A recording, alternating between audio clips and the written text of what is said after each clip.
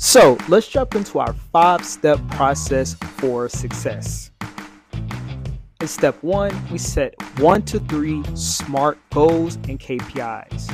In step two, we master brand clarity and buyer persona. In step three, we conduct market research. In step four, we perform content planning. In step five, we handle tracking, reporting, and outreach.